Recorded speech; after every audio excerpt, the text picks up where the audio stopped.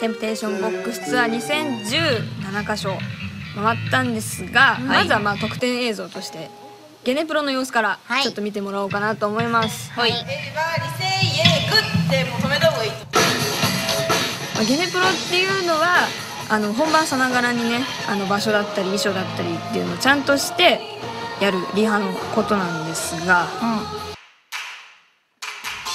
い来た。かわいい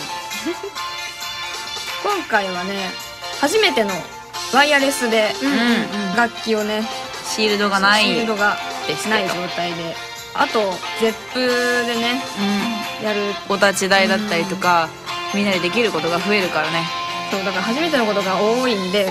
ちょっと特別にね大きいところでうん。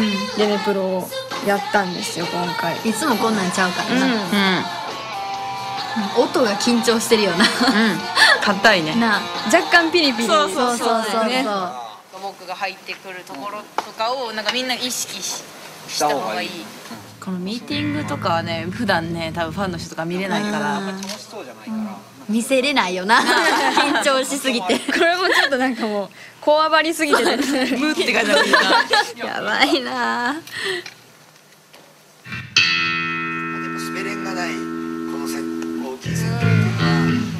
なんか新鮮というか。なんかちょっと大人になってき普段あんまりなんかこういう表情のさスキャンダルは見れないというか、うん。もうガチですからねこれは、ん。だってめっちゃ泣いたもんいやめっちゃないのめっちちゃ泣いた中でみんなに「どうしたん?」って聞いてもらって。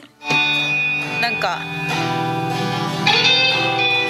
さっきの1回目ゲネやったんですけどその時はなんかなんていうの？個人競技な感じがしたんでもっとそこが改善できればなと。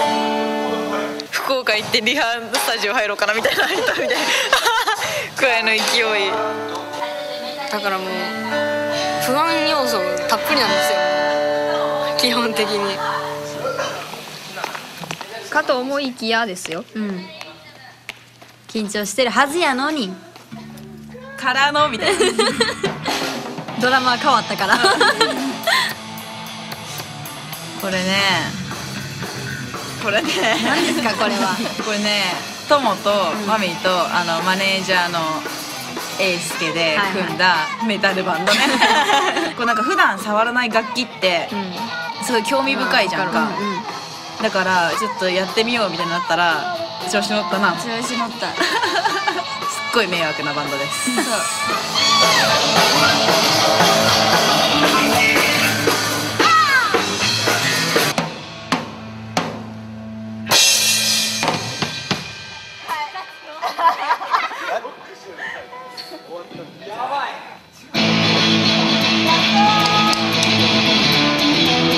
道路標識は鍋豚やな。ああせやな。確かにそれはあるな。あそういう何もう知らない人のことを鼻の骨に豚って言うやね。これは、ある辞書があるのことわざの辞書が、友とマミの中で。そうそうそう。辞書に載ってることわざがあるのね、でそれをこう言ってるんだけど。ツアーはきっとねこればっかり繰り広げられる。んじゃないかなと。よくわからないことわざ講座が今流行ってる。流行ってるんです。こういう音のことを何ていうか知ってる？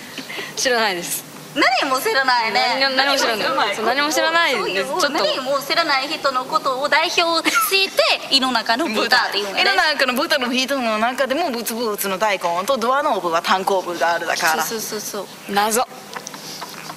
そういうのをブツブツのメルエットっていう。ね分からんこれ。一個覚えた。何？胃の中の豚。豚食べただけやんそれ。ほらほらほらはい衣装に着替えた衣装に着替えましたよいやでも衣装に着替えるとこうなんかスキャンダルになるって感じしん？あーエンジン。最初4人やったのになこのエンジン。このエンジンさなんだろうな俺たちは強い。や某某漫画のあれですいやもうこれはねもう一個でも間違えたら自分殺すと思った。思った。間違えたけど。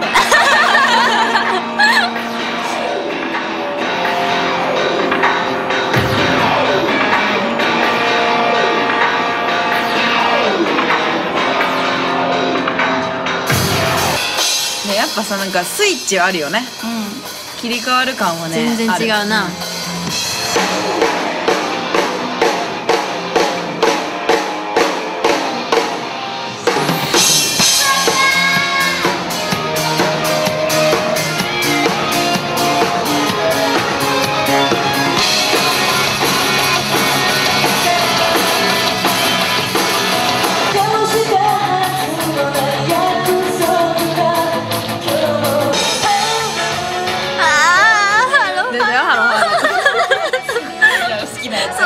めちゃくちゃ面なんねん途中で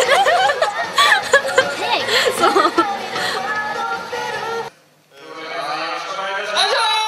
終わりました。どんな表情になってるか。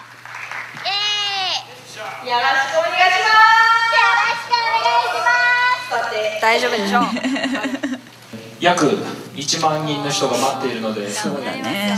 そうやな。したいのでぜひ皆さんよろし1くお願万人いします。か。すげえな。すごいね生いいこと言った。とりあえずなんとか。福岡まで。ねえいろいろあるやろうなって感じですけど。ねいろいろありましたけど。も、え。スタートラインに。まあいけたかなと思います。頑張りますもう